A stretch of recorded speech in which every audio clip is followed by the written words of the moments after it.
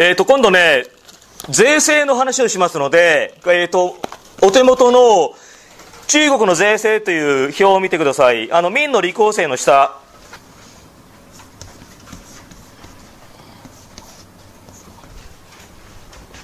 まずね、基本的な考え方は言いますが、税金のかかり方っていうのは2種類あります。それは、財産にかかる税金、土地建物ね、えー、それから人間一人一人にかかる税金。で、土地にかかる税金を地税、人間にかかる税金を定税もしくは人頭税。これ世界共通。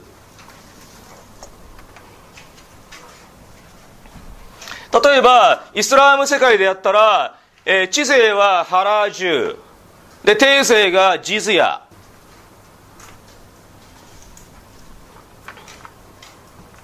中世ヨーロッパだったら、地税が効能。で、定税が不益。今の日本だったら、地税が固定資産税、定税が所得税になります。これ世界共通です。丸一番、えっ、ー、と、三府、三府っていうのがあって、これは新漢の頃です。えー、地税を資産、定税を公産と言いましたが、これは試験に出ません。で、出るのは次の2番からで、北紀に始まった税制ですから、素養庁。はい、空欄入れましょうね。赤でね。素養庁。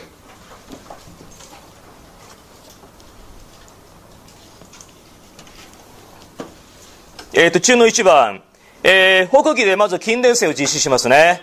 で、蘇長駅という名前で、あの、始まったんです。で、隋の時にこの駅を用に変えて、えー、強制労働をの代わりに布で収めてもいいと。これが蘇養町なんで、蘇養町っていう名前になったのは隋からになります。そして、おさらいですよ。えっ、ー、と、地税。地税は、区分田と営業田。ね。で、区分田にかかったのが、宋、穀物。営業田にかかったのが、蝶、布を収める。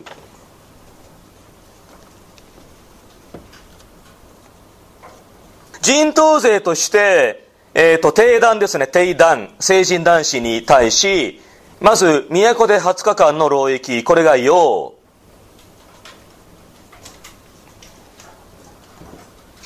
漢字ね。地方で40日の労役、これが雑用。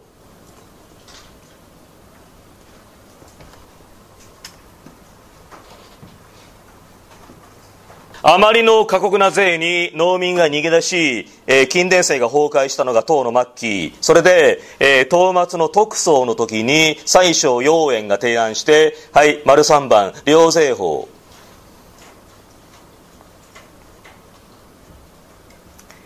で、今まで現物で払っていた税、えっ、ー、と、地税、地税を銅線で納めればよいと、洗脳を認めた。これが一番大きいですね。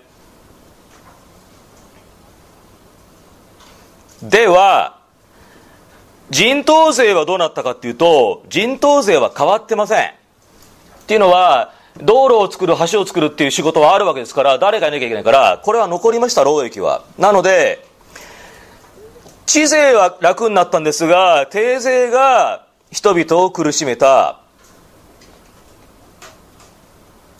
そこで、中の2番見てください。宋の最小大湾石は、この人民の負担を軽くするため、貿易法を定めて、体がきついものはお金で払えばいいよと労役の洗脳化を認めた。逆に体は丈夫だけどもお金がないっていう人に対してはあのじゃあお前たちを雇ってやるからと言って労働者に雇って賃金を払った。はいこれが大安石の貿易法やっぱあの人頭いいですね。大安石ね。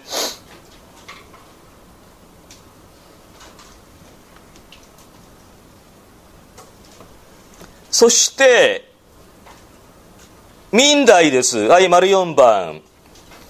えー、っと、一条弁法と言います。これ今日初めてね。明の中期の万暦帝に始まりました。で、地税を銀で払う。定税も銀で払う。銀でまとめて一本化して払うから、一条弁、一本の無知って言いますね。一条弁法と言います。その背景は丸3番見てください。ポルトガル商人や日本商人の来航、メキシコ銀、日本銀の流通。だからもう民間でこれ使ってるんだからこれで税を取ればいいじゃないかって話だ。ね。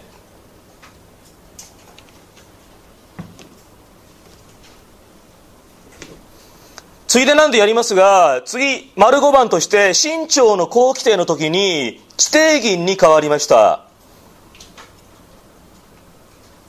地税を銀で納め、定税も銀で納めるから地底銀って言うんです。じゃあ、一応弁法と変わんないじゃないか。何が違うんだと。そこで、さっきの中3番の次の行を、えっ、ー、と、人定、つまり大人の数の虚偽申告による定税逃れ、つまり脱税の申告化があったということです。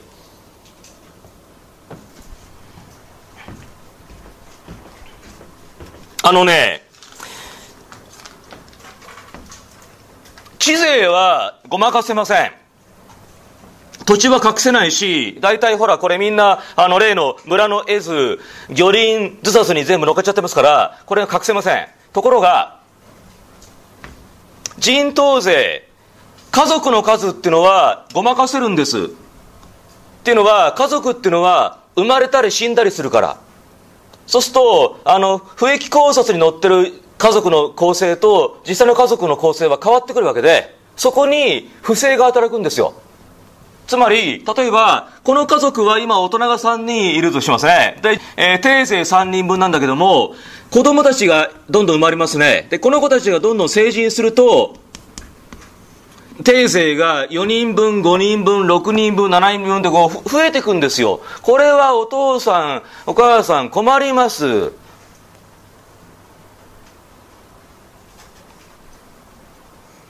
お前、来年二十歳だな。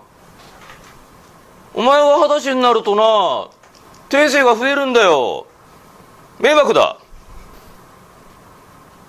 だから二十歳になるな。お前はな、いいか、19で死んだんだ。分かったなで役人が来たらすぐ隠れろいいかって こういうことできるわけでみんなが小さな嘘をつくんですよであの役人が人口調査に来ると「あの子は死にました」って言えばいいんだから。こういう脱税がどんどん増えたの。そうすると政府はあの人口の把握ができなくなります。で逆に真面目に払ってる人がバカみたいですねこれ。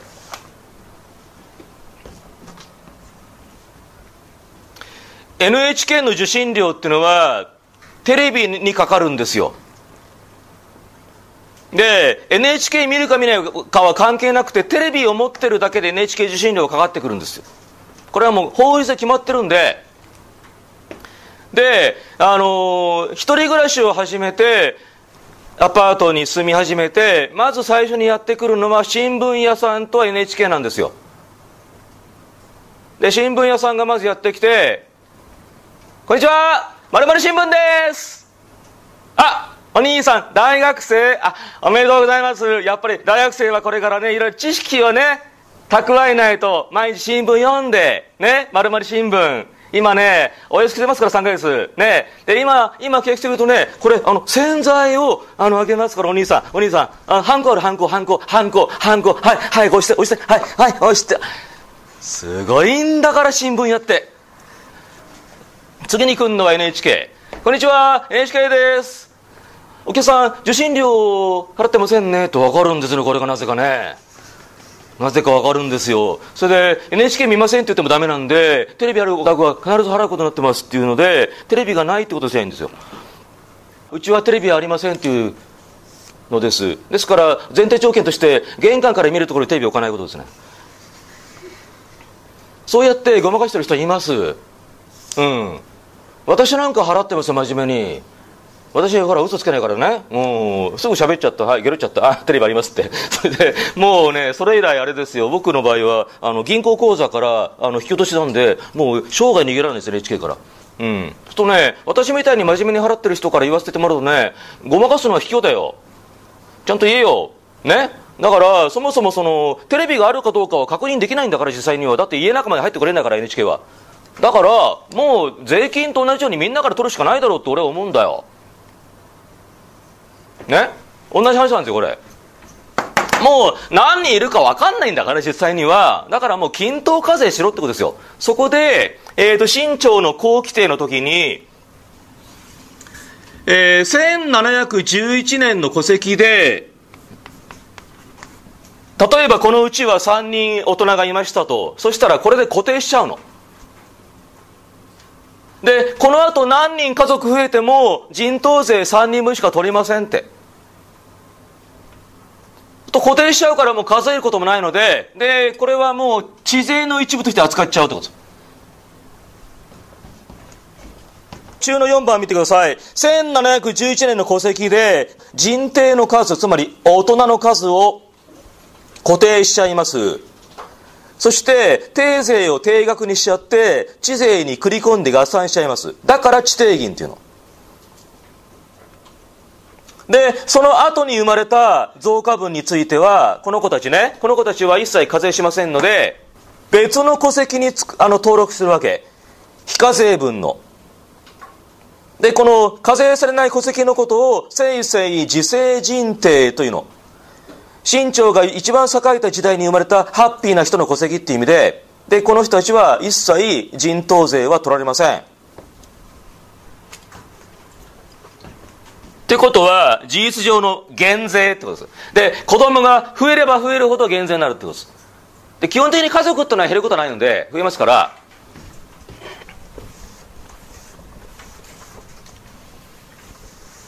党の時に人口調査やったら大体6000万ぐらいだったの。民の時に人口調査やったら大体6000万ぐらいなの。増えてないの。まあ党の末期にいろいろ安禄山とかあったからいろいろ減ったのかもしれないけどもにしても増えてないの。真の時に人口調査やったら6000万で増えてないの。これおかしいの。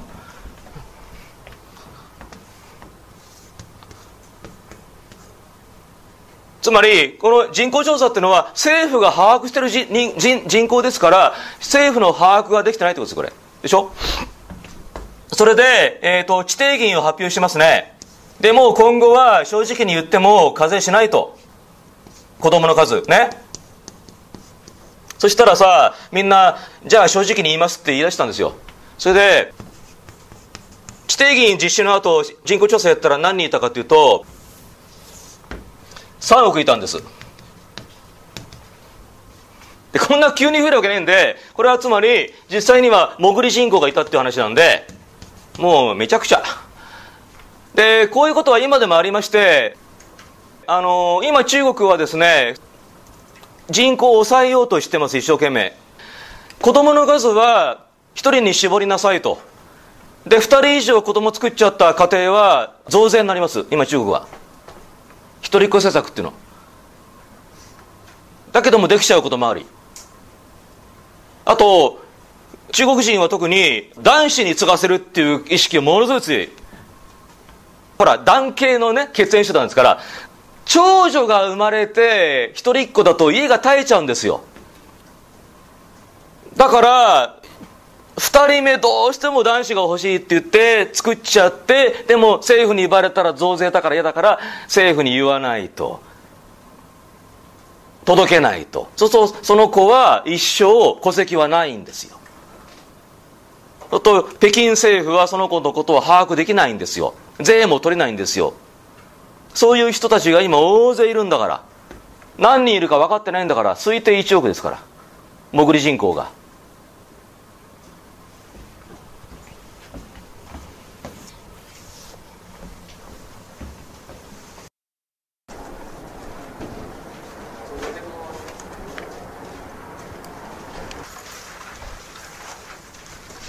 日民関係のプリントの下。モンゴルはまだ滅んでいません。で北京を捨てて北方に逃れたモンゴル北元はその後分裂をします。でフビライハーン直系の一族がこっちタタール。脱炭それから、えー、そこから分かれたのがこれオイラとワラはい。で、この二つのグループが激しく争いながら、代わり番号に明朝に襲ってくるという、こういう図式。先に草原を再統一したのが、オイラと、エセンという英雄が現れて、エセンハーン。で、北京奪回と言って攻め込んできたのが、土木の変。1449年、明朝はこれを迎え撃ち、えー、北京北方の頂上の北で迎え撃ち、ここが土木っていう場所、そして、わずか2、3万のオイラト軍に10万超える民の大軍が包囲されて、敗北。あのー、数が多ければ勝つんじゃないんですよ。軍隊っていうのは飯食うので、やっぱりね、水食料のあの輸送ができないのね。砂漠地帯で。それで負けるんですよ。で、この正統帝は、馬から降りて砂漠にへたり込んでるところを、オイラト兵に拉致された。この事件のことを土木の変と言います。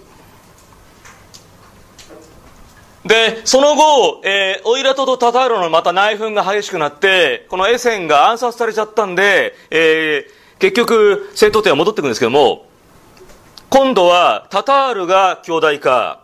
で、右の図。アルタン・ハーンが毎年のごとく北京を包囲します。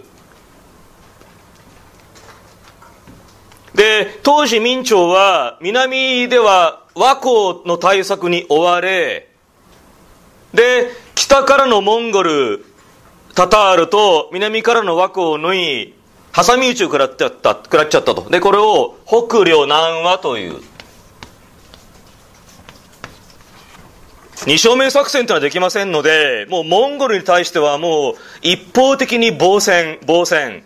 それで守りを固めて、で、この時に万里の長城を完成します。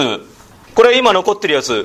で、あの、もちろん頂上っていうのは真の始皇帝からあるんですが、始皇帝の頂上っていうのは、粘土を固めて、せいぜい高さ1メーターぐらいなんですよ、あれ。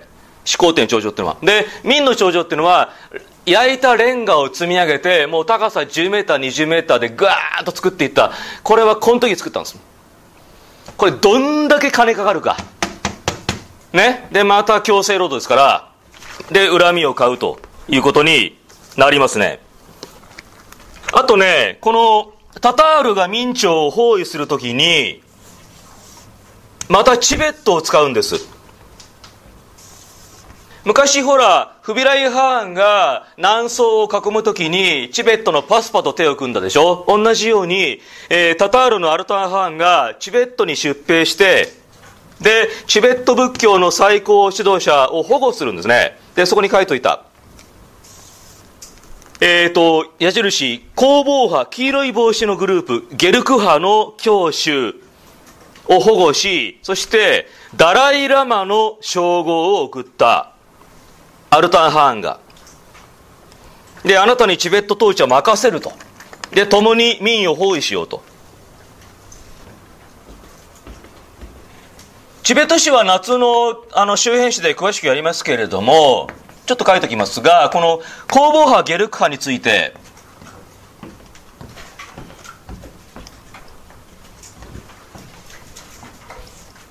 伝統的なチベット仏教は赤い帽子をかぶるお坊さんたち、紅坊派、えー、サキア派と言います。で、その、まあ、代表指導者だったのがパスパっていう人で、で、このパスパが、フビライ・ハーンと手を組んで保護されたとそれで、モンゴル全盛期にこのチベット仏教が大流行しちゃって、で、もうモンゴルの歴代藩は莫大な寄進を行い、チベット仏教に。で、もう坊主たちは贅沢な生活に慣れちゃって、だんだんこれが腐敗していったんですよ。あの、ちょうど中世ヨーロッパのカトリック教会みたいに。で、酒を飲み、結婚をしと、坊主が。ね。それで、これじゃいけないって言って、そのチベット仏教の宗教改革やったのがツォンカパっていうお坊さんで、で、昔の古いチベット仏教と区別して黄色い帽子かぶったんですよ。だから、お、工房派、ゲルク派と言います。これが明朝の初め頃。で、これに接近したのが、タタールで、で、えっ、ー、と、ソンカパ亡き後で、このゲルカハは結婚しませんので、あのー、後継ぎいませんので、お弟子さんですね、お弟子さんを後継者にするんですよ。うん。で、ずっとソンカパの弟子、そのまた弟子、そのまた弟子がずっと後を受け継いでいって、で、このソンカパの、えー、お弟子さんのね、えっ、ー、と、3人目ですね、が、このアルターハンと出会って、で、アルターハンから、チベットの統治を委ねられて、で、ダライ・ラマという称号をもらったの。で逆にアルタンハンはチベット仏教最高指導者から、えー、お墨付きをもらうと、ね、でその宗教権威を利用すると。でモンゴル人たちは熱心なチベット仏教徒であるから、えーと、アルタンに従うということですね。でちょうどヨーロッパでいうとローマ教皇と例えば神聖ローマ皇帝みたいな関係になるわけこれが。ね。はい。あとは、朝鮮ですね。で、朝鮮は、まずモンゴルの時に、モンゴル軍によってあの侵略され、で、元朝の属国になってます。で、日本衛星に動員されて散々な目に遭います。まあ、このことも夏の周辺誌でやりますけども、それで、元が崩壊すると同時に独立運動が起こって、そして李成慶将軍という人がモンゴル人を追っ払って作ったのが、これが李氏朝鮮。それで同じ反モンゴルってことで明朝に徴工して、で、朝貢作法関係に入ります。これが李氏朝鮮。それから日本ですね。日本はさっきの話、織田信長が鉄砲隊を組織して、で、天下統一やるんですが、志半ばで部下に裏切られて本能寺の変、明智光秀。それで、えー、その後を継いだのが、豊臣秀吉という農民出身の男で、で、この秀吉が九州から東北まで統一。あのー、当時世界で一番鉄砲を持っていた国は日本です。なんかね、なんかね、あの、あれなんですよ、明治になってからじゃないんですよ。でも、この頃から日本人ってのは西洋文明真似するのがうまくて、うん。でも、鉄砲をですね、大量制裁してました、日本は。それで、ということは日本軍っていうのは当時東アジア最強です。それで、秀吉はこの狭い日本列島があっという間に統一されちゃったんで、その自分たちのね、あの、自分の下にいる侍たちの仕事がなくなっちゃって今困ってるんですよ。そこで野心を持って明朝を倒すと。明朝を倒す。で、この明征服戦争にまた何十年もかかるから、そうすると侍たちの飯の種ができると。で、えっ、ー、と、北京に攻め込んで、で、日本の天皇家を北京に移して新しい王朝を建てると。で、自分、秀吉はその北京の天皇から日本国王に作法されるということを考えて、で、えー、朝鮮にまず使い送って、これから明朝を攻めるから、道案内しろって言った。で、朝鮮の国王が、バカなと言って相手にしない。それでまず秀吉は朝鮮攻めると言って始まった。これが秀吉の朝鮮出兵。朝鮮ではこう言います。人心帝友の和乱。で、朝鮮は鉄砲なかったんで、たちまちソウル陥落して、もうほぼ朝鮮全土が日本軍によって占領され、慌てふためいた朝鮮国は明朝に使いを送ってお助けをと。で、明が援軍を送ってきて、今度はこれ日明戦争になります。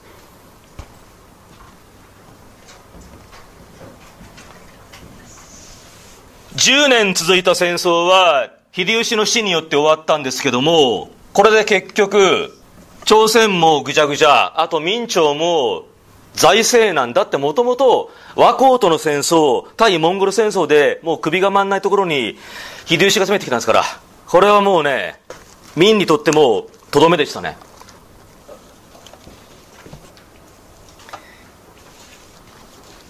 万暦帝の時に銀が入ってきたんで新しい税制で一条弁法の施行ということですね。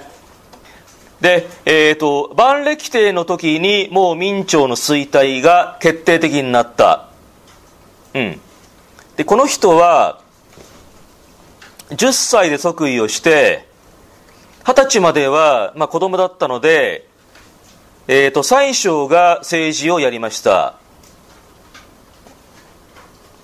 超虚勢と言います。あ、先生、あの、明朝って宰相ないんじゃないですか？あ、あの、この宰相っていうのは実は内閣の長官のことを言います。うん。内閣の長官のことを、まあ、通称、えー、宰相と言った。で、とにかくもうね、軍事費と、あと官僚の給料でもうどうにもなんなくなっちゃってたんで、えー、長挙制は予算削減、財政再建、財政再建、質素倹約ってやったんです。で、その一環として、一条弁法の実施もやりました。ところが、あまりに締め付けすぎちゃったんで、その彼が死んだ後で反動が来ます。で、えっ、ー、と、万暦帝二十歳での時に、このうるさい長居生がなくなってしまって、その後は逆に、放満財政、もう、使えとなってしまった。で、また例によって宦官が出てくると。あの、明朝ってさ、ワンマンでしょ？独裁でしょ？これ、官や党だったら、あの、皇帝が多少バカでもね、官僚組織がしっかりしてるから、なんとかなったんですよ。ところが明朝ってのはワンマンなんで、で、ワンマン会社で社長がバカだとね、これは、あの、会社潰れます。それで、明朝の歴代皇帝を眺めてみると、まあ、優秀だったのは初代主元将、あと三代永楽帝です。うん。で、この二人はね、あの、悪党ですよ。悪党ですが、仕事はできた。で、その後がもう全部ダメ。で、基本的に明朝っていうのは長男がつくんで、で、長男、長男、長男で、バカでも長男なんで、だんだんバカになってくるんです。うん。あのー、あとね、やっぱ独裁権力っていうのは腐敗するよね。うん、誰もチェックしないから。で、明の皇帝の伝記を読むと、まあ大体パターン決まっていて、政治に興味がなく、ね、陥落にふけり、高級に入り浸り、うん、昼間から酒を飲み、うん、えー、女を抱き、で、あとよくあるのは、道教に凝るんですね。道教に凝っちゃって、不老調整の薬を求め、で道教の坊主が怪しげな薬を調合してでそれを飲ませるんですよ。でで死ぬんですね。であの大体その道教の薬っていうのはあの水銀入ってるの水銀。で多くの場合水銀でね脳を破壊されて死ぬんですよ。うん。でまあその歴代王朝の中で一番ひどかったのは明朝でその明の中で一番ひどかったのがこの万暦帝っていう男でこれです。もうね顔がダメですねこれ。このもうなんというかもうゆる何の緊張感もない顔ですこれね。万暦帝真相万暦帝後にこう言われた民が滅ぶは万暦に滅ぶって言われた。でも財政破綻。秀吉の信仰。であとは宦官政治。でこの後に及んでこの男は墓を作り始めてで俺はその真の始皇帝に負けない墓を作るって言い出してで北京の北にですねあの穴掘ってね墓作ったんですよ。でそこをもう財宝で飾ってでそんな自分の墓で毎日宴会やったっていう男で。あのこれ北京に行ったらあの必ず韓国祭ありますよ。万暦帝の墓っていうのは、うん、で万暦のかぶった冠とかありますけどね。まあ悪趣味。そしてこれを批判する動きがありましてえーと、官僚グループ、古憲生たちが反宦官運動やってまた弾圧されえーと、東林派と言います。政治腐敗極まるなんか五感の末期と同じ。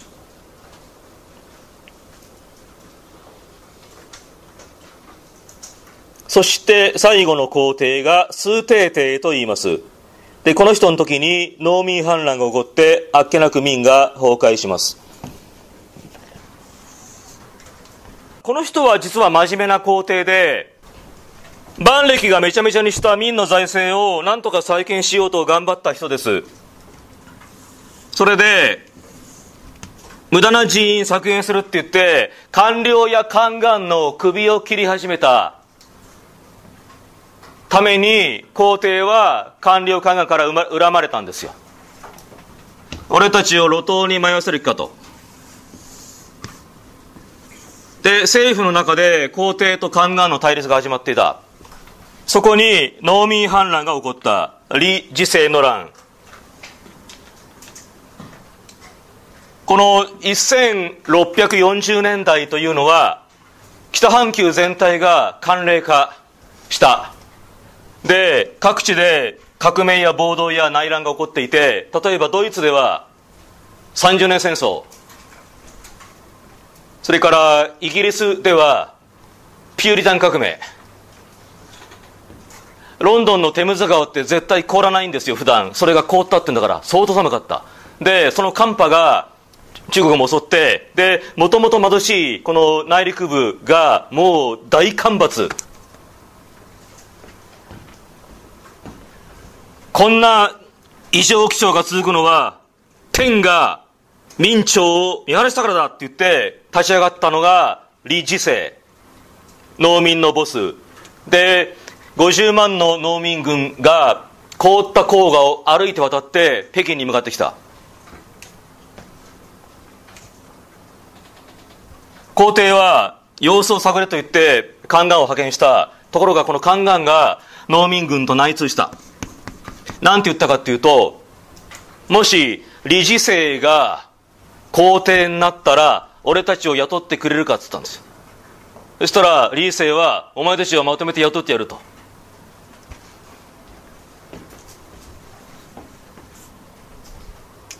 北京が包囲されました。情報が全く入ってこない皇帝に、宦官が握りつぶしてるから、情報は。で、北京っていうのはでっかい町ですから、城門を全部閉めちゃえば、1年ぐらい持つんですよ。ところが、固く閉めた城門が内側から開けられた。開けたのは宦官。理事生様どうぞ中へって。役人たちみんな逃げる。最後は皇帝一家だけ、農民軍に包囲されて、彼は覚悟を決めた。遺書を書いた。民謡庁の犯した罪は私が一心に背負う。だが人民は殺すな。それから幼い息子たちに言った。お前たちはまだ顔が割れてないから逃げろ。変装して逃げろって。娘がいて娘はもう大きかったんで顔が割れてるんだ。お前は捕まったらどんな恥ずかしみを受けるかわからないだから父さんがと言って娘を切った。それから数帝帝は宮殿の裏山に登っていって一人で首つって死んだ。これが明朝の最後。でその数時間後に李治世が入ってきて皇帝の座について。そしたら宦官が勢ぞろ勢ぞろい。逃げ回っていた役人が勢ぞろい。でみんな土下座して理事制皇帝万歳っつった。そこまで腐ってる。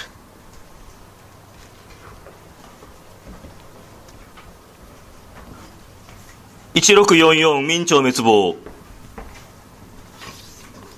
まさに疲れ切って疲労死した明朝。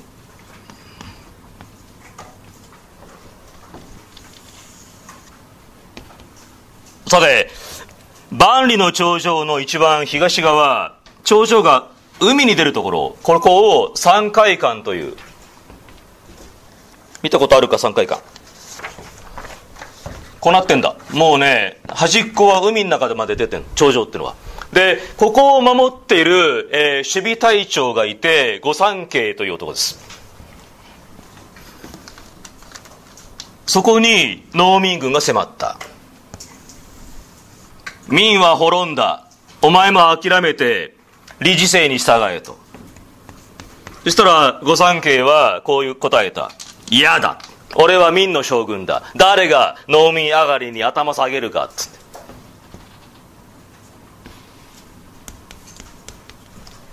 壁の向こう側が満州族の建てた王朝清朝で本来御三家はこの清朝が入ってこないようにする役割であった。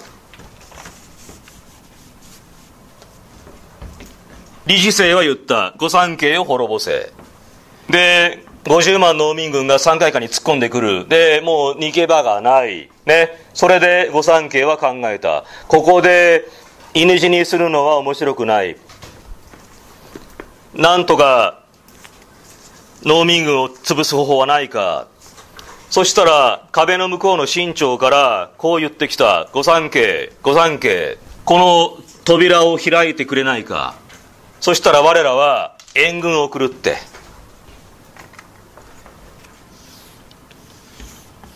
御三家犬死にはやめろ扉を開け門を開けお前を助けるからって。で御三家は思った。ちょっとだけ新朝の軍隊を借りて農民軍を潰してまた戻ってもらえばいいんだから新朝には。門を開け!清朝の騎馬軍団が頂上を突破するこれを真の入管という。唖然とする理事制バカ開けるなで、結局、農民軍はこの清朝の騎馬軍団によって踏み潰され、粉砕され、理事制は殺され、そのまま清朝は北京に向かう。第三代巡地帝が北京入場。北京城内大パニック。そして、さっき、つい数日前、理事制皇帝万歳といった宦官や官僚たちどうなったかというと、今度は清朝の皇帝の前に土下座して、清朝皇帝陛下万歳って言った。で、私たち雇ってくださいって。つまり全部保身だけでやって、どうでもいいわけだ。国がどうなろうと。まあ多分、国が滅びるときってのはこうなんだろうな。